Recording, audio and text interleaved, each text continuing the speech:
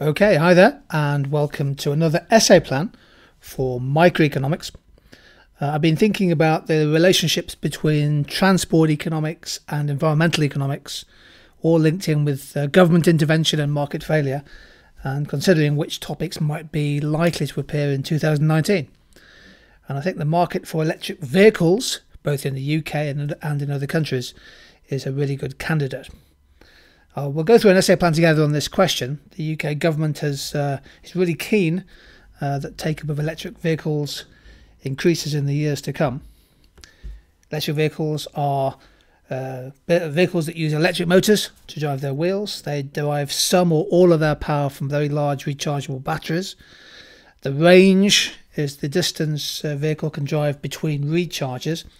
There are pure electric vehicles that are also plug-in hybrids which can switch between running on electricity or fossil fuels and hybrids which don't plug in. The Toyota Prius is a popular model which has a smaller battery but which charges whilst you're driving. Now, the key point the UK government has announced that all new cars registered from 2040, that date may come forward in fact, uh, should have electric or hybrid engines by banning petrol and diesel engines from that date. So, what question to ask? Let's work through it. A 25 marker uh, again, thinking about the structure of an answer and how, how to build analysis and strong evaluation. Here's my question Assess the argument that the UK government is justified in offering financial support to households and businesses wanting to, to purchase electric vehicles. Uh, the bit, bit of backstory is provided in the text there that the UK government is offering or has been offering a grant effectively direct subsidy to consumers of between £2,500 and 4,500 pounds for people buying a new electric car, depends on the model, and up to 8,000 pounds on the cost of buying a new electric van. So here we go. Let's think about how we build our answer to this question. The key to a really good essay, especially given the time constraint that everybody is under in the paper, is to build analysis, contextualize analysis first, then evaluate the point you've made, go again, do it twice, and then come to a final conclusion. That's what we'll do in this essay. Here we go. My first point is that a subsidy could be justified because it can help to meet the UK's climate change targets. So here's my point. One argument supporting direct subsidies to consumers and firms is that they emit less carbon and NO2 into the atmosphere. These emissions are negative externalities from consumption and production which leads to little connective word there can lead to higher external costs and causes chronic health issues. If electric vehicles are less polluting, then subsidies will increase market demand as consumers substitute away from petrol and diesel cars. So you're going to create a substitution effect by changing the relative price of electric versus conventional cars. As a result, over time, there will be improved net social welfare as shown in my analysis diagram, which we'll come to in a second. Leave a couple of lines. Always leave a couple of lines. The examiner can take a pause.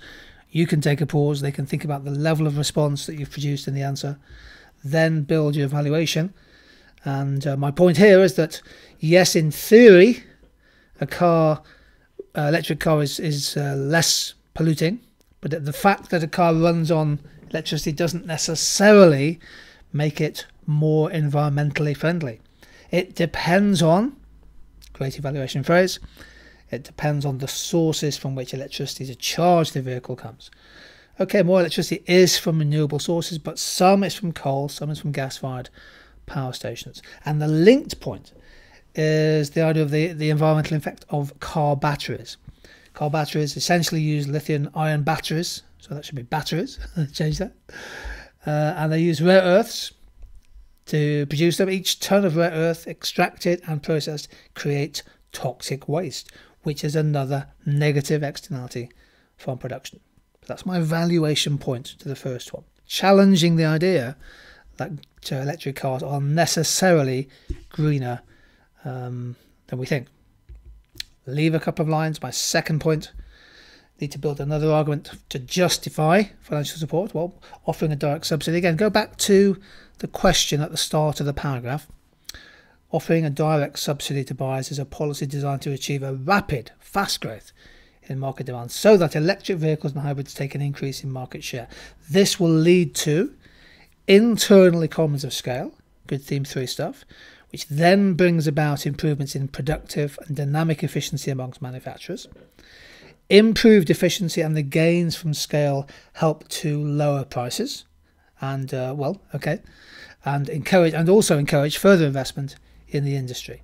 And so my argument here is that with the economies of scale, you'll get cheaper electric cars, but you'll also get cheaper electric buses, electric taxis, and it's that which could be really useful for low income families. That would make transport more affordable, clean transport more affordable for, for families on, on squeezed incomes. However, doubts challenge the idea. Yes, we're going to we're going to increase demand for um, these cars, these vehicles. We're going to achieve scale in the industry, but can the supply side of the industry cope? Are there limits to the supply side capacity of the industry?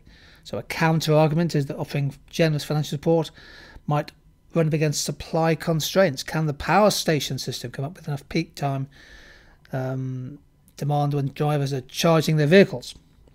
Are there enough charging stations in towns and cities to cope with increased demand? Who should operate the charging stations? Who should profit from them? Uh, direct subsidy, of course, if it's successful, will be expensive for the government, and also it's going to bring down the tax revenues that they've come to rely on for many years from conventional petrol and diesel cars. So there could be a trade off there between increasing use of environmental friendly cars, electric vehicles, and the tax revenue going to the government. There we go, building two points. Um, now, the final conclusion, I'll come to the analysis diagrams in just a second. What I've done in this essay plan is I've written a slightly longer conclusion. Some examples require you to build a lengthier conclusion, looking at the arguments and calibrating and coming to a, value judgment.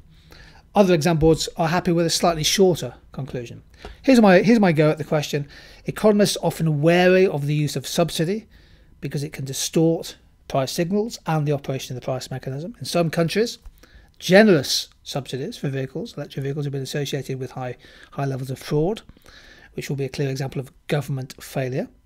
But on balance, I would argue that. I love that that phrase towards the end. On balance, I would argue that the economic and the social benefits of such a subsidy outweigh the risks in the long run. UK is planning to ban the sale of new petrol and diesel cars, so offering an incentive now to switch can allow this process to be pushed forward. And there are knock on effects. Subsidies uh, can lead to large scale jobs being created in driving, selling, financing, servicing, and charging of these vehicles. Most of all, uh, we're getting a, an increasing percentage of our energy from renewable sources. So some of those worries about the batteries and things and, and coal powered fire stations may be, may be reduced. Crucially, as battery technologies improve and more and more households can source their own energy from off grid solar power, then the unit cost and prices of vehicles will fall, which, in the medium term, may mean that the government subsidy isn't needed. It's a little bit like saying at the moment that the solar panel industry, the solar farms, are becoming so big that the unit cost of solar power has fallen dramatically in the last couple of years, such that we're now starting to get solar panel solar power farms which are subsidy free, which hasn't happened for, for some time. However, at the moment, electric vehicles are not affordable for most families, which raises the issue that the direct subsidy is actually inequitable in favour of better off households, some of whom would have bought these cars anyway. Another possible source of government failure. Can you see what I'm trying to do here? It's a slightly longer conclusion. Uh, I'm not going to be coming to a definite conclusion, but I'm just trying to calibrate and think about the balance of arguments as we go through. I've chosen electric vehicles because I think this is a topic ahead of the 2019 papers that is really topical. Big news, and lots of countries are trying to fast forward and kickstart their electric vehicle sectors. So many micro concepts can be used. It'd be a perfect question for micro paper. Elasticity of demand, externalities, demand for labour, economies of scale, efficiency, monopoly power, everything really in this in this question. What about the diagrams? Well, if you believe that electric vehicles uh, are a cleaner form of transport, you might want to show a positive externalities diagram, which I've put on the board for you here, showing the social benefit lying above the private benefit and the need for some form of subsidy to increase demand to shift you towards an output level Q2 rather than an output level Q1.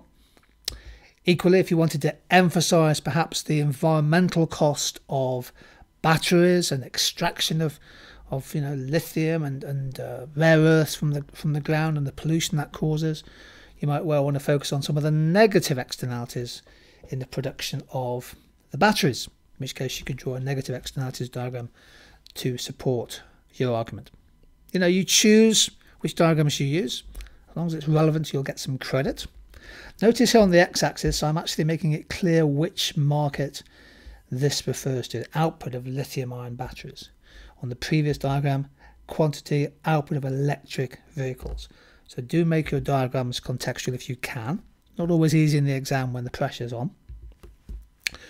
Uh, lots of data at the moment on electric cars. Um, lots of businesses announcing they're going to ramp up production. Ford, for example, is hoping to produce 40 electrified vehicles by 2022. 16 fully electric, the rest will be the, the plug-in hybrids. What's stopping people from buying a car at the moment is mainly cost. And it's mainly the fear that uh, you run out of charge before you get to your destination. Uh, what's clear though is battery prices are falling and they're falling very quickly. So a terrific possible example of economies of scale. You could draw a diagram for that. This is the, the average price of battery packs. And uh, it's a it's a factor affecting demand. It's a complementary demand, isn't it? Uh, which countries are ahead in the charge towards electric vehicles? The biggest market, of course, is China. The answer always is China. United States second. Well, again, that's the size of the market. But look at Norway. Measured as a percentage of passenger car sales. In fact, the figure is now over 50% of new car sales in Norway are electric vehicles. And the extent to which electric cars have been encouraged in Norway is pretty remarkable. There's no VAT on electric cars, very low tax, road tax. They're offering free charging points, um, free travel on toll, toll roads. The Norwegians are going for electric vehicles in a big way compared to little old UK where electric vehicles less than 3% of the total in Austria, you can drive more quickly. The speed limits go up if you buy an electric car. A little behavioural nudge to think about. Well, there we go. Uh, hopefully, this is an interesting market for you to study and revise. Lots of potential exam questions. This could be a data response question instead of a instead of a chunky essay. Anyway, thank you for joining in this essay plan on the market for electric vehicles.